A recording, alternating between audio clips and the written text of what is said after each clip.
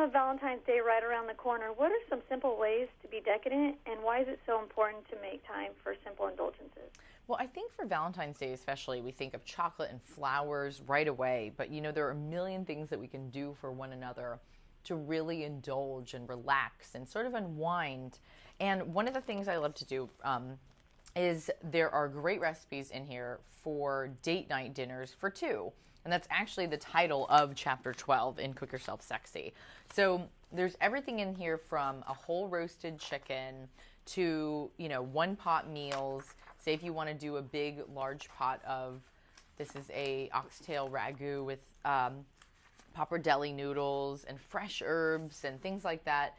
There's also a great spaghetti and meatball recipe that is homemade, but a little bit less, um, you know, calorie laden. It's actually really good for you. There really isn't anything in here that's terrible for you. Um, but my big weakness in life is usually chocolate, and that's how I find myself indulging. So what I love to do is I make to make a Cafe Escapes dark chocolate hot cocoa and I put it in my Keurig brewer. I make one cup, it's under 100 calories. I have no guilt, and all I want to do is just hang out on the couch and chill for the rest of the day. So it does, it takes me away to that point. and how can we carve out a little me time and we time? Well, I think when you really want more me time, it's all about taking a walk, reading a book, going to the park, seeing a girlfriend you know, making a moment of time for yourself, which is important because all of us are so busy, we don't have any time to relax for ourselves. And we time means cooking together, bringing your date over for Valentine's Day, and cooking together a really delicious, like home, homegrown meal that's going to make you both feel really good. And I mean, who doesn't love like coming home to a home cooked meal? Like, here's a a really good burger recipe I made last year for Valentine's Day. So oh, good. Yum.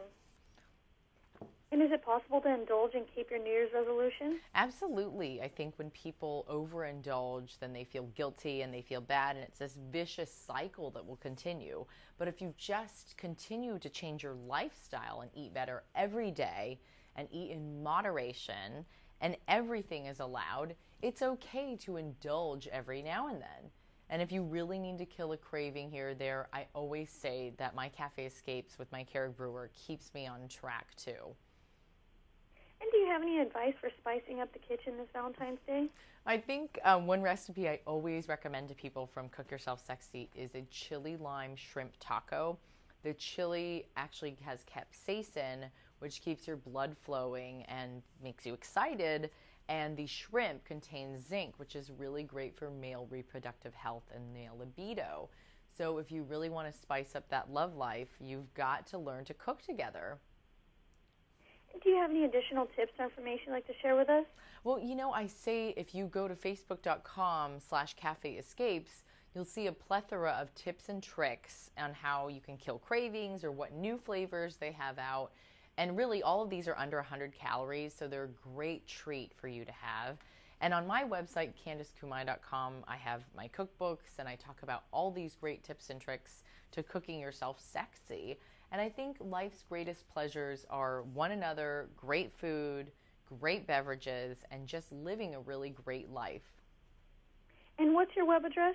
Mine is CandiceKumai.com, C A N D I C E.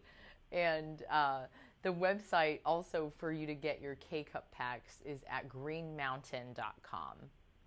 Well, thank you so much, Candice. I really appreciate it. It's been of great course. chatting with you My this morning. My pleasure, Candace.